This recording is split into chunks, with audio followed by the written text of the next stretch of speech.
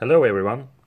Uh, here I will show you how I personally fold uh, the board into the bag of the game of HIRÞ.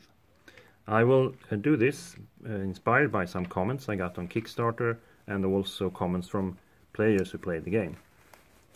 Um, so the idea of making this uh, or fold it this way is to um, have it as, as safe as possible for the pieces in there and also to make the, the foldings less sharp, so to speak, and uh, to have less wrinkles on the game. So when I have played the game, I put all the pieces here um, and in the middle, and then I fold the long sides first,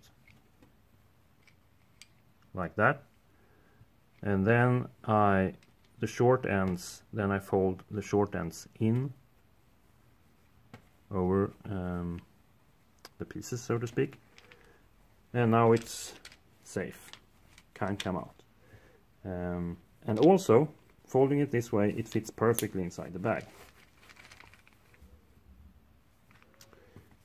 The rules um, uh, I usually put the rules outside of, of the foldings because they won't come out anyway and they get maybe a bit folded by by uh, if they are inside.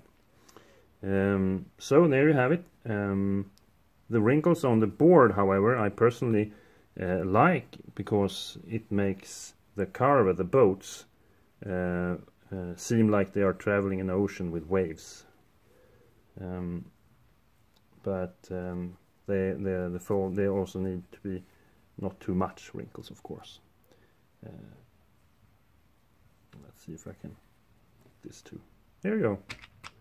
Thank you for watching and uh, thank you all who backed this game and made it a reality. Bye bye